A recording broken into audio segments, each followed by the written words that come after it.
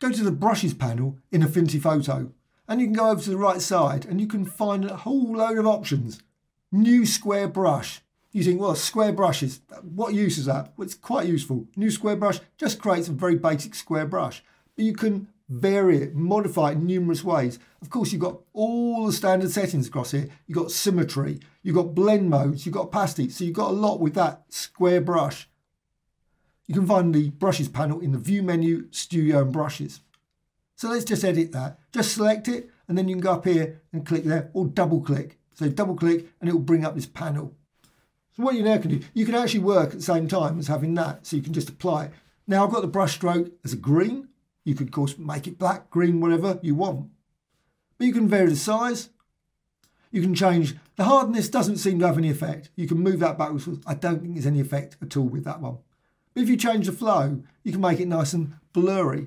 So you can sort of, however, really only noticeable when you sort of add some colour into the mix. And I'll do that in a sec. So keep the flow there. You can change shape. And again, that creates a slightly different shape, squeezes it very limited, but still you may want to create a nice sort of like that. And of course you can change the spacing. So you can make it nice spacing like that. So you can make nice like pole design just as you go across there. And of course you can always rotate it. So you can rotate it so the line is going like that. So that's just from a few subtle changes to there. Again, push that up rotation high.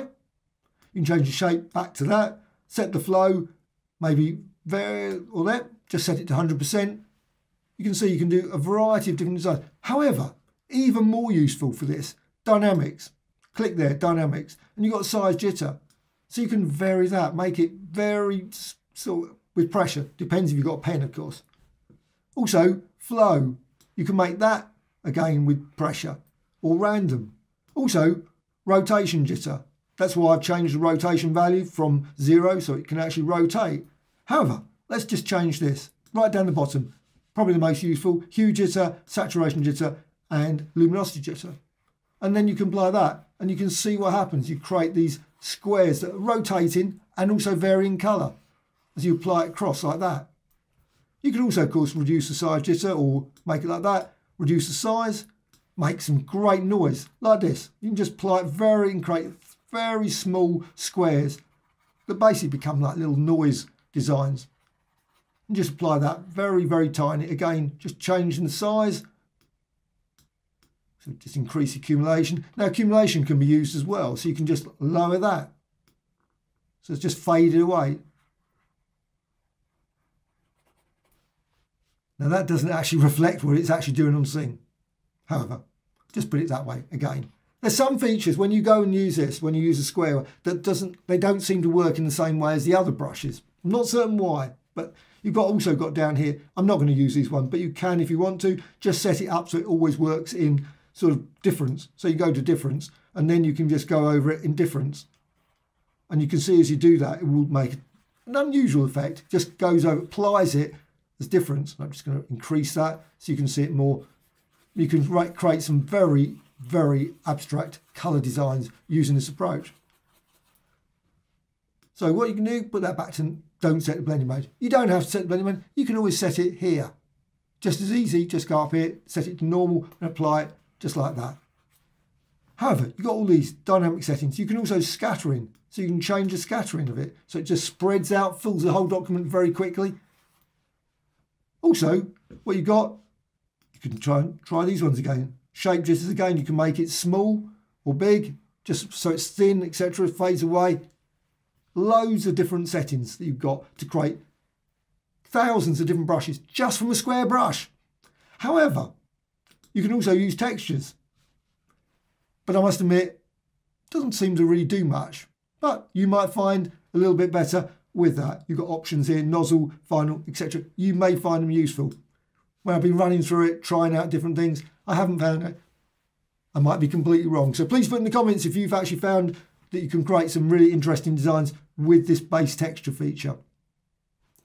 However, what you can also do, this. You can add bitmap. Now I'm not going to do that because during this run through, I actually had quite a few crashes when I click add bitmap. For some weird reason, doesn't seem to uh, like me at this point. However, add round.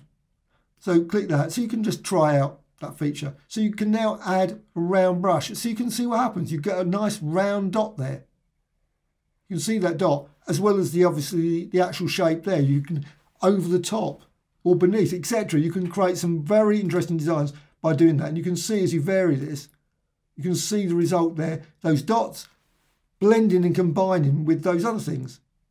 And you can change the spacing, change that, change, let's go with flow, so you can make it nice and variable.